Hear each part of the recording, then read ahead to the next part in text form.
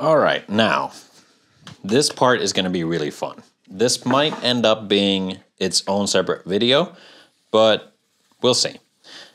Now, the guitar is going to be completely black. Now, I have a feeling that the, or in my opinion at least, and I've, you know, asked the client before going ahead with any of these plans, but I feel like the rosewood fretboard just won't mesh well enough. So what we're going to do is we are going to ebonize it.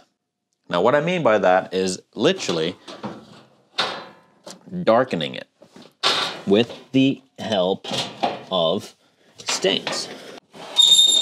Oh, I hate that sound. Now, if I could just find black. First, what we're gonna do is we're gonna clean up the fretboard. Um, ideally, what I would love to have right now is some lighter fluid because that would dry up the fretboard, get rid of all the residual oils and everything else that are on there. Because right now I don't know what's on there. And um, if I get the fretboard dry enough, the stain itself will seep in a little bit better. So basically, what I am doing is cleaning the fretboard at first, and then we're going to have a look at how it looks. It's actually drying up pretty nice. Okay, cool. So yeah, I would recommend at first using uh, maybe lighter fluid for this. I don't like using it mainly for the sake of the fact that yes, it dries up fretboards and it's nasty, nasty stuff and you don't really want to be touching it and the fretboard is kind of something you touch. So I don't really approve of the lighter fluid method. It's just something that I've noticed to be useful in the past. But honestly, I have a feeling that this uh, D'Addario spray cleaner is actually doing the trick very nicely. All right. I am going to let that dry for just a second while I get myself some gloves. Now, at this point as well, um, you want to make sure that your fretboard is exactly the way you want, so you have a little bit of, if you want to have a little bit of an edge or a rounded edge to it, you want to do that now because afterwards you don't want to break the stain off.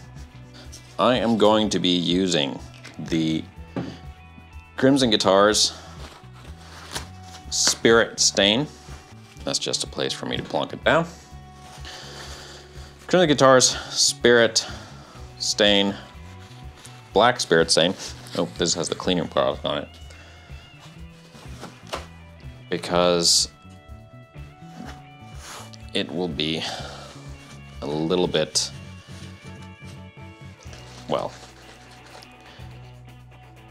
I feel like the pigment will seep in a little bit better than on the water version.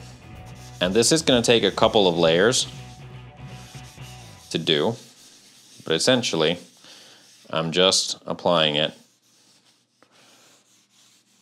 I don't have to worry about getting it on the neck itself because the neck is getting painted black. If I feel the need to, I can come back and clean that off ever so slightly. But as it currently stands, I don't think I will need to. All right, so I'm gonna do the first layer like this, and we're gonna, gonna come back after it's dried up and do the next layer, and I'm gonna move the camera in a bit closer so you can see it too.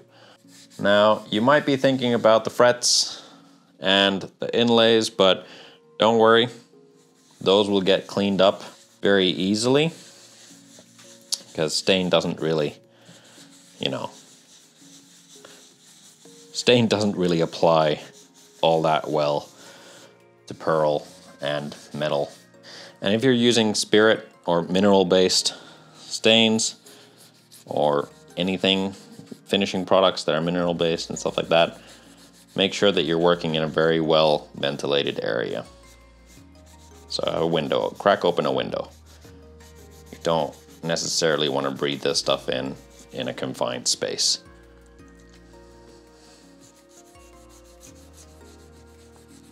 Now already from the initial coat, we're starting to see a pretty nice difference. Now bear in mind that this is now a pretty dry fretboard. When we come back to do setup and polishing up frets and stuff like that, we're gonna be oiling up the fretboard so this color should come in even better at that stage. I'm gonna move the camera in a little bit closer so you can see what I'm doing a little bit better. So we're already getting a pretty nice dark color, but I'm gonna go and do a second layer to accentuate that even more. Right now it's nice, but I want it darker. Side of the fretboard too.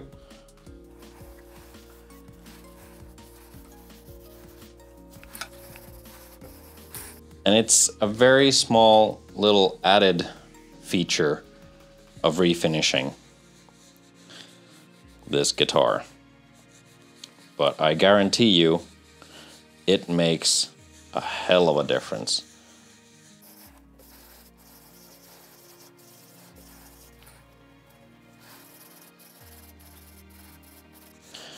One thing you want to be very wary of is not leaving any streaks. You want to kind of make sure that everything looks uniform. A little bit more to the side. A little bit more to this side. And I'm going to do one final somewhat dry pass. So I'm not adding that much stain on this. I'm just going to be kind of couple of swipes. Really let that sink in.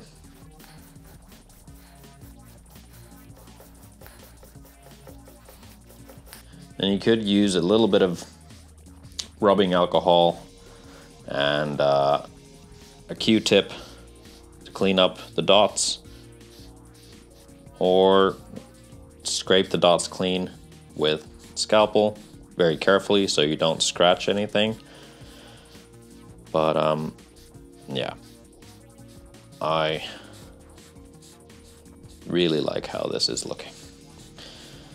So that's just a few very small layers, or rather thin layers, of spirit based stain. And we already have a fretboard that looks a lot, a lot better. At least in my opinion. Now to let it dry, and come back to do the rest. And what I mean by the rest is literally just cleaning up the dots and then looking at the finished product. All right, moving onwards. All right, now this next part is gonna be extremely easy. So I'm just gonna have a really, really sharp scalpel. I'm just gonna very lightly scrape away the stain on the dots. While I could easily leave the dots as they are, cleaning them up to their full pearliness ensures some much needed contrast. Now, using words like much needed contrast when I've just basically made sure to get rid of contrast. There's a difference between having contrast and having contrast at work. While the rosewood itself would probably look okay in the grand scheme of things, in comparison to the fully black guitar, I just feel like a darker fretboard goes that extra mile and kind of looks a little bit more expensive in a way. It looks a bit higher end. You will see what I mean when this guitar is completely finished and I can do a sort of side-by-side -side comparison between where we started and what we ended up with. And yeah, you could do this with Q-tips and rubbing alcohol just fine. But I find this a little bit, little therapeutic for me. So I don't mind doing it. it takes a little bit longer, but it's nice. Nice to do. There. Now, if we're going to compare these two dots next to one another, which one do you think looks better? See what I mean? All right, I'm going to do the rest and yeah, I'll show you the finished product afterwards. All right, so this is what we're looking at. So right now I have made the fretboard darker. I've cleaned up the dots. I've cleaned up the side dots. And in my opinion at least, it looks pretty cool. This cleaned up very nicely. And I think it will fit the black, black, black, black guitar so much better than the very light colored rosewood that it had. All right, awesome. Uh, next step really is for me to oil the fretboard. So let's get a closer look at that. I'll bring in some more light. Move the camera. All right, so this is where we're really gonna see the difference the ebonizing did for the fretboard. Bring out some of that darkness in it. So I'm gonna be using some, I'm pretty sure this is gonna be the last of my fretboard restorative from Crimson because I'm running out. A small little bottle like this has lasted me a very long time. But yeah. Apply on the plenty. Let's see. Well, I have a little bit of the stain coming off, but not an excessive amount, which is nice, which is really good. And as you can probably tell already, that the fretboard is a good bit darker than when we started off. It's a very slight difference, but a difference nonetheless, and it makes for a completely different looking instrument in the end. Had this been the very light shade of, of uh, rosewood that it was, would have looked a little bit out of place on such a dark colored guitar. I mean, the entire guitar is black. Yeah, something that light colored on a completely black instrument, and it does show quite a lot. You can see it here if we compare. So this is what the fretboard was colored like before. And this is now with the uh, stain on it and the ebonizing. All right, so I'm gonna let that oil soak in just a little bit and then we're gonna go back and buff out the excess. Um, I still have some. This is small little bit will last me still a little while. I think it's gonna be good for probably the bass neck that I'm working on or the bass fretboard replacement that I'm working on. But this is how much stain came off. And that's not a lot at all. I am gonna wipe that down with a lint-free cloth though because this isn't giving me the results I want. The paper is kind of disintegrating on the surface, so I'm gonna use a little bit of an old t-shirt to buff this out. There we go. That looks nice. Now it's just a matter of slapping on all the hardware, and attaching it to the body, stringing it up, and uh, having a look at the final final result of all this hard work. Well, I say hard work, but what I mean is such a simple process. So let's have a look at how big a difference it made. All right, now that I got everything put back together, this is what the fretboard looks like on this guitar now. And uh, yeah, seriously, looking at this, if it would have had the lighter colored rosewood on it, it wouldn't look the same. This kind of pulls everything together. Already it looks a bit more of an expensive instrument.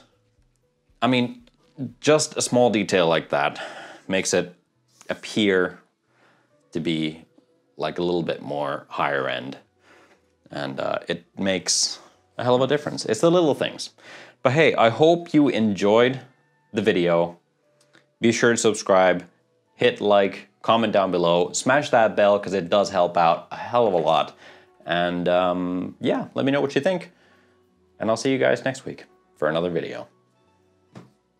Tom Stroud.